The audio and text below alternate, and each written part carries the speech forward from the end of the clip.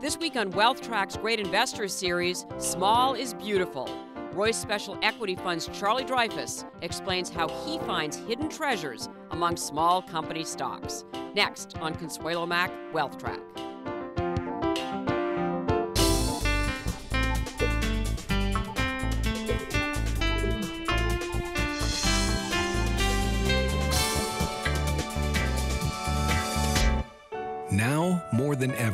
You want to keep your loved ones safe and secure. We've been helping protect families with the gift of financial security for over 164 years. New York Life, the company you keep. Additional funding provided by Loomis Sayles, investors seeking exceptional opportunities globally. Annaly Capital Management, investing in your best interest. Research Affiliates, efficient indexing for an inefficient market. And Matthews Asia, investing in the future of Asia since 1994.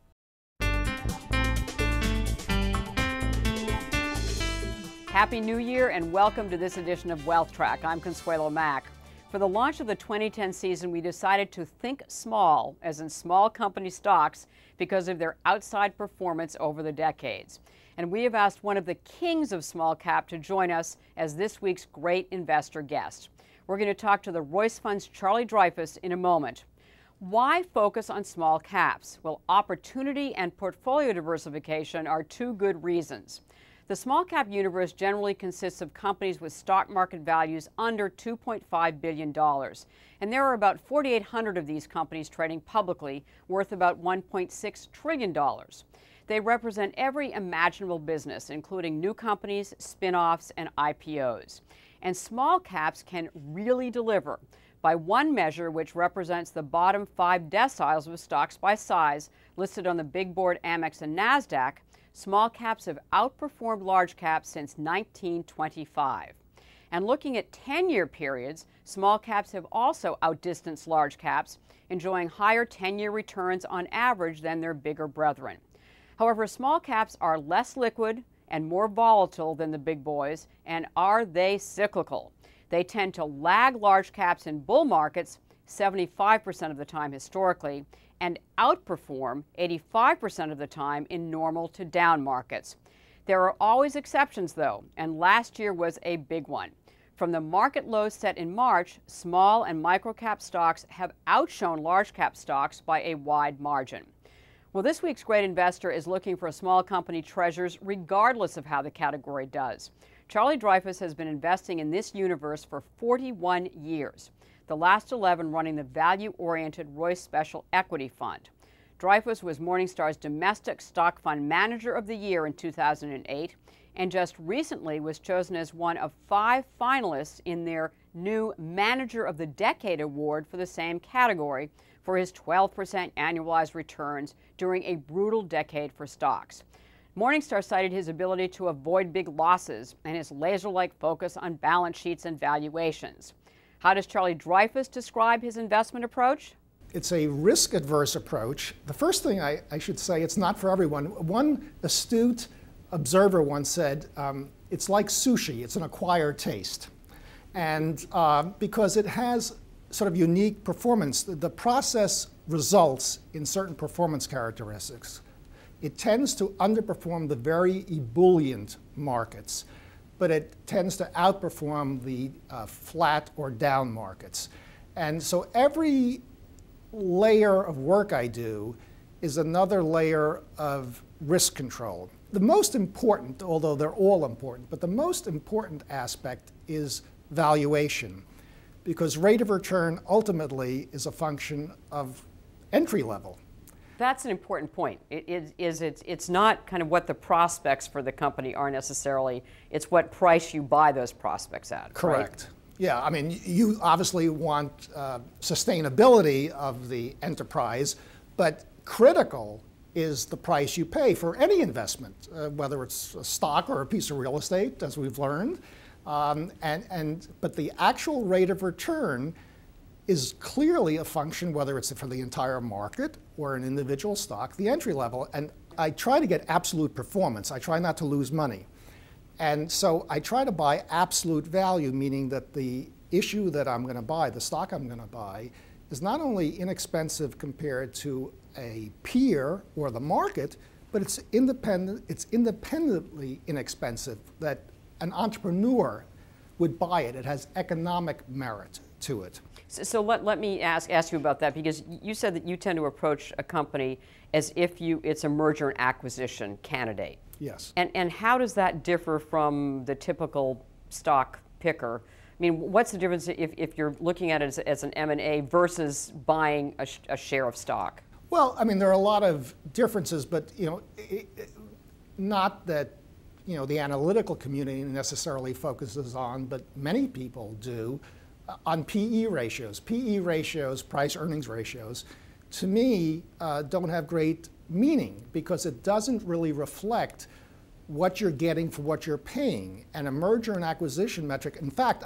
the merger and acquisition metric that I use um, is a more severe form of the traditional merger and acquisition metric, which is enterprise value, which is the sum of the market cap plus interest bearing debt minus cash. Uh, divided traditionally by EBITDA, earnings before interest, taxes, depreciation, and amortization, I drop the depreciation and amortization, so I make the hurdle rate higher. And that uh, enables me to hopefully, when I'm screening for candidates, find candidates.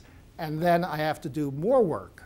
So it's so interesting is what you just described. Clearly, you're talking as an accountant, and actually, you were an accounting major, and, and you, you went for your PhD, even though you got lured into the workforce before you completed your PhD. But you told me uh, earlier that numbers actually speak to you. Some people have said I'm sort of the Shirley MacLaine of the uh, uh, accounting world because uh, she, I think, said that she, you know, she had people speaking right. to her. But um, yeah, I, I, I'm, I'm really blessed that I'm able to take from the document a sense about the company and, and sort of the ethical values of the company and how they, uh, probably how the offices even look. And um, I really uh, owe a lot of that to the graduate accounting work. I, you know, this mentor of mine, Abraham Briloff. Um, and uh, so, yes, I spend a lot of time going over the numbers, and um, I, I, am frankly, I benefit because not everyone does. And it's hard gives, work. It's hard work, and I enjoy doing it. Not everyone enjoys doing it. And, and that perhaps gives me an edge. So, can you give me an example of one of your largest holdings now, for instance, that where it's actually the culture has spoken to you in, in their financial reports? I don't speak about individual stocks, but my largest stock and, and is it, National Presto. Is National right. Presto. A, a, and, and, Benjamin Graham actually right. favorite. I, and, and, that's probably a, a, good in terms of sort of it's speaking to you. Um, you know, here's a company that is very conscious of costs, has always had a, a, a great balance sheet. I, besides, incidentally, we, we spoke about the valuation metric. I also want a high return on invested capital. Mm-hmm. I want companies that generate a lot of uh, free cash flow defined as funds from operations minus capital expenditures uh, related to net income, so that it's really cash we could spend if we owned the business. Mm-hmm. And so National Presto is one of those companies, when you read it, you see how cautious and conservative they are. And a lot of investment management, in my opinion, or certainly the, the way I pursue it, is you know to hopefully not lose money, deliver excess returns over a full market cycle with less volatility. Now, that's a big task. And so you have to really put the odds in your favor. And all of these different little things that I, well, maybe they're not so little, but these different things that I do are seeking to get me on that road. So, at, at, any given time in your portfolio, in, in the uh, Royce Special Equity Fund, you have what, 70 or 80 stocks that you own, right? And yeah, it's a little over 80 right now. And and the average holding period is some, four years, four to five years, yes, something like that. So, to get those 80 stocks, 80 some odd stocks, how many companies do, do you go through in the screening process to give us a sense of what the driver's rejection? Uh, the the rejection rate is high. I do go through them uh, with great intensity. looking to basically discern whether they're portraying the numbers aggressively, in my opinion, or conservatively. Obviously, I want conservatively rather than aggressively. And then there's the traditional security analysis of trying to understand the business and you know, whether the earnings can persist and uh, so forth. But even, you know, Charlie Dreifus makes mistakes. If we did this interview in my office, you'd see my pencils come with erasers. Mm -hmm. And assuming that I haven't made a mistake, and it indeed is this anomaly, this inefficiency, this undiscovered kind of stock that I'm looking for, it doesn't mean that I necessarily get paid. It can remain that way. So the four to five year holding period has been quite traditional. It takes a while for these names to be recognized. They, they tend to be underfollowed, underloved, underdiscovered uh, just inefficiencies out there. Your aversion to risk, you know, the, the Hippocratic Oath is first do no harm. And you seem to have that approach uh, as, as, a, as a money manager. And it's, it's don't lose money. Where does that come from? Well, I'm first generation American. Mm -hmm. I'm first generation college grad. Earlier in my career, someone said to me, you know, uh, Charlie, uh, you really have a refugee mentality. And first I, you know, was a bit taken aback by the comment, and then I, you know, reflected on it and realized, you know, you're right. Mm -hmm. um, I really just innately, and I guess because of my family roots, mm -hmm. um, came to that. But it also, you know, I entered the business professionally in 68, and I was part of a group that was managing money in 73, 74. Devastating time in the Devastating markets. time. And you know, you, you saw people who we fortunately didn't, but others who lost 50% of an account's value, and you have to be up 100% to break even. It's terrible math. And um, you know, I, I really um, the notion of absolute returns, of, and I don't. I don't always attain that. I've had uh, down years, and in mm -hmm. fact, uh, 2008 was my worst down year in my my career. Down 19.6%? Right. Right. Which I, you know, think is terrible. Mm -hmm. um, but but I have to tell our viewers that it's, you know, was like 18% better than than the index and certainly better than, than the vast majority of your peers. But nonetheless, it, it hurt, absolute it, returns, it hurts. It hurts. Right. It hurts.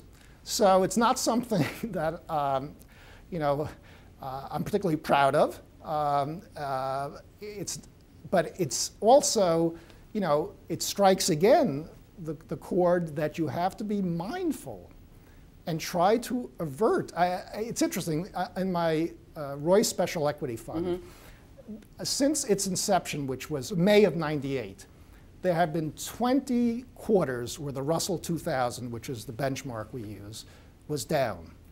In 80% of those quarters, I outperformed. Mm -hmm. In 20 percent of those quarters, I actually had positive returns. So, uh, you know, it's that cumulative effect that you're looking for. Why did you choose small company stocks to focus on that? Because that is not the logical choice. That is a contrarian choice, as a matter of fact. I came to it back at um, what became Oppenheimer Capital. I was director of research and sort of the architect of uh, our methodology that we uh, started screening for stocks, which in the 1970s, mid 1970s, was somewhat unique. It, today, people can do it at home on their home computers. But, um, and as I was doing that, and we found large cap companies, I noticed something that I observed earlier in life. I'm the first member of my family to own stock. I bought stock with my bar mitzvah money. And, and, and how did that happen? I mean, what, I just was, I, I was attracted, you know, you, you asked before about numbers speak to me. My mother always told me the story that as a little child, rather than having stories read to me at night, I asked her to give me numbers. uh, oh, you did have a troubled childhood. Travis, no question about it. so, I mean, I really was into that is great. this, this yeah. at an early age. Right. I, I wish I, frankly, did it pursue reading a bit more than I, than I have. But um, so, uh, you know, I, have always had this, um, th this, this interest. And so as, when I got this bar mitzvah money, I, I, I started investing. Right. And I went actually to the public library and went through the big Moody's books, and there I saw companies that I didn't even know were public because, you know, it was names like the New York Times or Tiffany that were traded in, on the pink sheets in those days. So I was aware that there was another category of stock. But then in the mid 70s, as we were doing this screening, it became obvious that the most, the greatest values were in the most neglected. I mean, obviously, uh, when you think about it, it's, it's an obvious conclusion. But so uh, I, I started thinking of the notion of managing monies exclusively in that arena, but it wasn't until uh, May of 1980 with that first mutual fund that I had a vehicle that was exclusively dedicated to that. And so you've never looked back. Essentially, you, you felt that the small cap is the area that you can really excel in. It's not heavily mined and researched, and the, that's where the opportunities are. I believe so. Now, Right. you know, that doesn't mean it's going to always be that uh, way, but uh, I, you know, hopefully there are always opportunities for someone who's really into finding them. Because, you know, even in markets where, you know, the market may not be particularly attractively priced, uh, in, in the small cap area, you know, there, there are companies go public and then they don't do well and they fall down in price. There's always something happening. The, the, the universe sort of um rejuvenates itself. So let's talk about uh, last year, even, though it's painful in an absolute return, uh, you know, perspective. Uh, you know, you've said that you, you invest where others fear to tread frequently, and, and one of the areas uh, was the retail stocks, the con- consumer discretionary stocks. And so there were two companies that you bought, Tiffany and uh, Bed Bath and Beyond. Uh, that, that you know number one didn't used to be small cap stocks, but then were in 2008, but that you purchased uh, for your portfolio. So, how did you decide to to buy those two companies? I mean, what was it about them that that stuck out? What in, intrigued me was, in both cases, and Bed Bath and Beyond is perhaps the easier example, is that um, clearly a, a, a great company, but there their main competitor, Linens and Things, literally shuttered all their doors. They went bankrupt. And even if you had assumed that the total spending on everything that Bed Bath and Beyond sells declines for the U.S. economy, it's likely they will take up some of the share that Linens and Things had. So the people's uh, uh, uh, unhappiness or unwillingness to uh, buy the stock when it was 18 or 19 dollars a share seemed overdone. And the same applied to Tiffany, perhaps not as clearly because uh, you can point to some regional um, um jewelers that have gone out of business, Right. but nationwide, a lot of jewelers have gone out of business. And here's, you know, uh, a franchise, a brand name. It was also very beaten up and was neglected, uh, or rejected is better than the term neglected. And you know, there's always opportunity in going what I call, you know, the junk heap. I mean, the, there are sectors that are abandoned en masse. Are there any sectors that are being abandoned en masse right now? Fewer. There's still some in the um, industrial area. Uh, recently, um, I added um, five new names to the portfolio, and and the majority of those are in the industrial area again. And So, uh, so what I mean, what kind of in, industrial? well, you know, either you know uh, machinery or uh, related to infrastructure. I mean, you know, a lot of people, rightly, uh, you know, have been concerned that you know our stimulus package has not produced the results that we would, might have hoped for. And so there's still a question about you know capital expenditures, infrastructure spending, and so forth. So th- these stocks have not uh, you know found a lot of supporters. But you know, I don't mind wearing that straw hat in winter if it doesn't have holes in it. You know, one of the interesting things that you told me about um, your performance last year as well is that when you saw opportunities, that you were still very conservative in acquiring them. So tell us about how you handled last year when you saw these some some screaming opportunities, but what I did, and it was also the experience of 73, 74, because had you, there was a wave back then where the market went down, and had you bought, you would have suffered still a massive loss. So, reflecting on that and just the way I operate in general, I did classic dollar cost averaging, buying over time. And I actually tried to concentrate and did concentrate my purchases on down days when the market was taking a beating. But even on those days, I paced my buying within the day. I didn't buy it all at you know 10 o'clock in the morning or something right. like that. And you know, it, it may not be an optimization mode, but it gives one confidence. And, and, and you know, a big element of, I believe, managers' successes have to do with their own security in what they're doing and knowledge that you know this does work and that you know you have conviction in what you're doing based on what you've done in the past and the outcomes you've attained because of that in the past. So what makes you sell a stock? The first reason is I was wrong.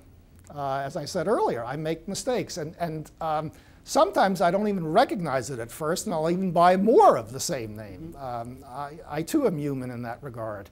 And um, I try to, um, you know, re-examine a company when I when it appears I've made a mistake, and on that re-examination, I may compound the error. But ultimately, when I know that I'm wrong, I will sell it.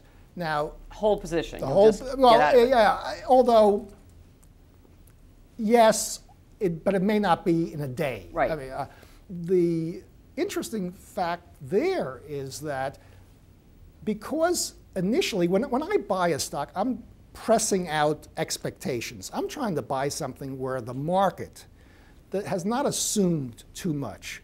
So if it disappoints me or some others who may be interested in the stock, it will go down and I'll lose money but hopefully it won't be as severe as a stock that has built in high expectations.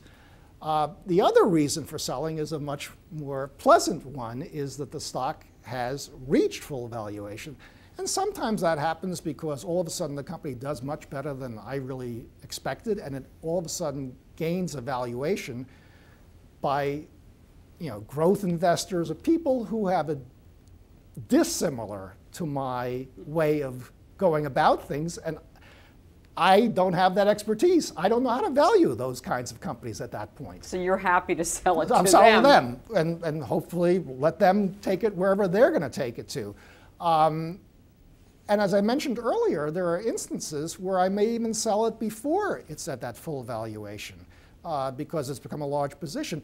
One of the things that, that does drive some of the recognition since mid 2006, since July 1st, 2006, I believe I've had 14 takeovers in my portfolio. And um, nine of the 14, which is you know, two thirds or something like that, uh, have been strategic um, buyers. And um, strategic meaning, meaning uh, someone in the same industry. So a consolidation going on. And, and I think one of the themes that I see on the horizon is more uh, mergers and acquisition transactional activity on the premise, my underlying assumptions are that organic growth is going to be hard to come by, um, and that companies have largely uh, wrung out the uh, possibilities of decreasing costs by letting people go. So the next phase of cost cutting is from shutting down plants, getting rid of duplicative research and development kind of expenditures. So I foresee a great degree, a possibility, I don't, no one's spoken to me about this, but I can conjure up a scenario where there will be a lot of acquisitions because that's the way companies will grow. Charlie Dreifus from the Royce Special in Equity Fund. Thank you so much for joining us. We really appreciate it. Well, thank you. It's been my pleasure. Our resolution for the new year is to bring you more great investors like Charlie Dreifus to help you build and protect your nest egg in good markets and bad. And we will continue to do that next week by casting a wider portfolio net. We'll be talking stocks, bonds, and global investments with BlackRock's Global Chief Investment Officer for Equities and large cap fund manager Bob Doll, bond expert and manager Marilyn Cohen of Envision Capital Management, and Matthew McLennan, who has succeeded Jean Marie Eveillard at the helm of the First Eagle Global and Overseas Funds. In the meantime, to watch this program again, just go to our website, wealthtrack.com, where we will also be providing extended versions of our great investor interviews throughout the year. Thank you for visiting with us. Have a very happy new year and make the week ahead a profitable and a productive one.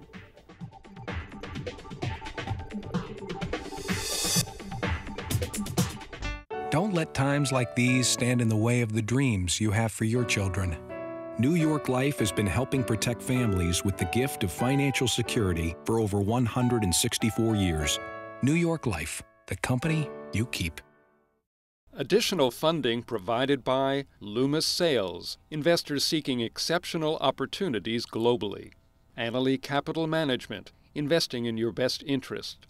Research Affiliates, efficient indexing for an inefficient market and Matthews Asia, investing in the future of Asia since 1994.